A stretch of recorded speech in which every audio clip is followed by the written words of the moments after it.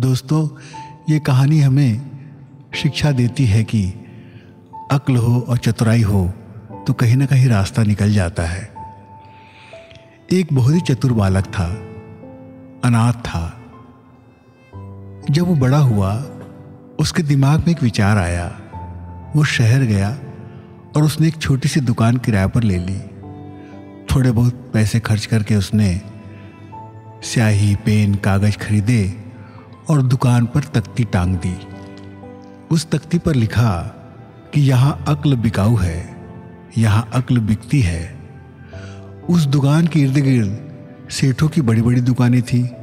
वे कपड़े, गहने, सब्ज़ियाँ और बहुत सी चीज़ों का कारोबार करते थे। वो लड़का दिन भर गला फाड़ता रहता। अक्ल तरह तरह की अक्ल लो, मेरे पास अक्ल है, सही दाम एक दाम।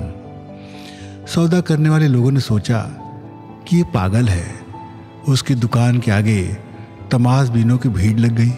सबने उसकी खिल्ली उड़ाई और कोई भी उससे खरीदारी नहीं किया पर उस लड़के ने धीरज नहीं खोया।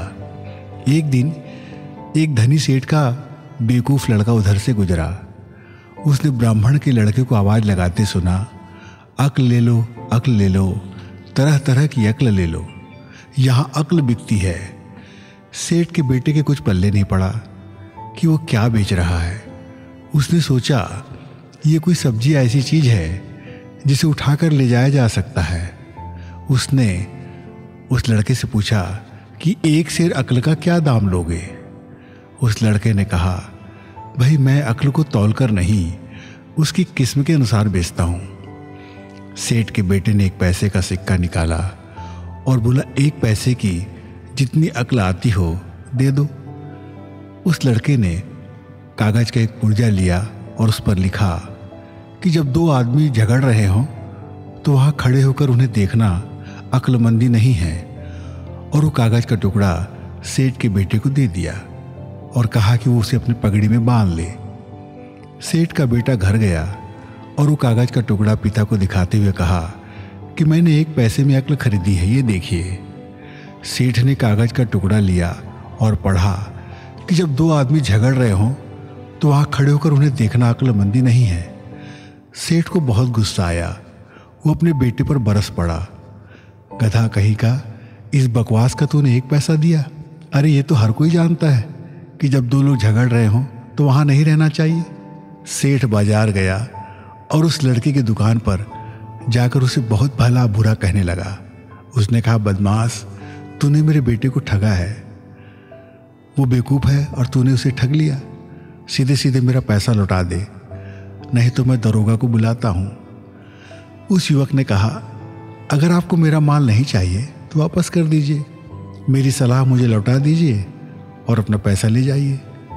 सेठ ने कागज़ के टुकड़ों को उसकी तरफ़ फेंकते हुए कहा, ये लो तुम्हारा कागज़ और मेरा पैसा वापस करो। उस लड़के ने कहा, मुझे पुर्जा नहीं मेरी सलाह वापस चाहिए। अगर अपना पैसा वापस चाहिए तो तुम्हें यह लिख कर देना होगा कि तुम्हारा बेटा कभी मेरी सलाह पर नहीं चलेगा और जहाँ दो लोग लड़ रहे होंगे, वहाँ ज़रूर खड़ा रहेगा और लड़ाई को देखेगा। आसपास के लोगों ने उस युवक का पक्ष लिया। सेठ भी तुरंत लिख कर दे दिया और हस्ताक्षर कर दिया और अपना पैसा वापस ले लिया। वो खुश था कि उसने इतनी आसानी से अपने बेटे के मूर्खतापूर्ण सौदे को रद्द कर दिया। उसी शहर में राजा के दो रानियाँ थी और दोनों एक दूसरे को फूटी आँख नहीं सुहाती थी। और तो और, उनकी दासियाँ भी एक दूसरे को दुश्मन समझती थी। वे अपने मालिकों की तरह झगड़े का कोई मौका हाथ से जाने नहीं देती थी। एक दिन, दोनों रानियों ने अपनी एक एक दासी को बाज़ार भेजा। दोनों दासियाँ एक ही दुकान पर आ गईं और दोनों ने कद्दू लेना चाहा। उस दुकान पर एक ही कद्दू था और दोनों को कद्दू चाहिए था। वे लड़ने लगी। उनकी हाथ और जबान तेज चलने लगे। बेचारा दुकानदार देखता रह गया। उधर सेठ के लड़के ने उन्हें झगड़ते हुए देखा तो अपने पिता और ब्राह्मण के करार को याद किया और वो झगड़ा देखने के लिए रुक गया। दोनों दासियों ने एक दूसरे के बाल नोच लिए। लात घोसे चलने लगी। एक दासी ने सेठ के बेटे को देखकर कहा कि देखो इस झगड़े में तुम गवाह हो। इसने मुझे मारा। तुमने अपनी आँखों से देखा है। किसने किसको मारा? दूसरी दासी ने कहा, तुमने मुझे भी देखा कि मुझे कितना मारा गया। और तुम्हें ये बात बतानी होगी, ऐसा कहकर वे चले गए।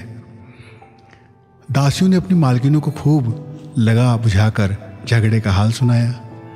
रानियों को भी गुस्सा आया। दोनों रानियों ने सेठ के बेटे को बुलवाया और उसे कहा कि तुम्हें गवाही देनी है। अगर उसने उसका पक्ष नहीं लिया तो वे उसका सर कटवा देंगी। अब तो सेठ के बेटे के होश उड़ गए। सेठ को जब इसका पता चला तो वो भी घबरा गया। आखिर उसने अपने बेटे से कहा, चलो, उस अक्ल बेचने वाले दुकानदार से मिलते हैं। वो कैसा अक्ल बेचता है, देखते हैं। और उन्होंने मुसीबत से छुटकारा पाने के लिए उस युवक की दुकान पर गए। उस युवक ने कहा कि मैं इस मुसीबत से बचाने के पाँच सौ रुपये लूँगा। सेठ ने पाँच सौ रुपये दे दिए। उस युवक ने कहा कि अब तुम जाओ और जब तुमसे पूछें कि क्या हुआ तो तुम पागलों की हरकत करना, तुम पागलों का नाटक करना। अगले दिन राजा ने सेठ के बेटे को बुलाया। राजा और मंत्री ने उससे कई सवाल पूछे, पर उसने एक भी जवाब नहीं दिया। आए बाएँ साए बकता रहा। एक भी शब्द राजा के पल्ले नहीं पड़ा। झुंझला कर राजा ने उसे बाहर निकलवा दिया। सेठ बहुत खुश हुआ कि उसका बेटा बच गया और उसने उस अक्लमंद युवक की तारीफ़ करने लगा। उसके चर्चे सब जगह होने लगे। अब सेठ ने विचार किया कि मेरा बेटा तो राजा के सामने पागल होने का ढोंग किया, लेकिन राजा तो उसे पागल ही समझता है। और कहीं राजा को पता चल गया कि उसके साथ छल किया गया तो मेरे बेटे को छोड़ेगा नहीं। वे फिर से भयभीत होकर के उस युवक के पास गए। उन्होंने कहा कि भाई, इस मुसीबत से भी बचाओ। तो उस युवक ने पाँच सौ रुपये और लिए और कहा कि जब महाराज बहुत खुश हों तो जाकर उन्हें सच्ची बात बता देना। उससे उनका मन बहलाव होगा और वे तुम्हें माफ़ कर देंगे।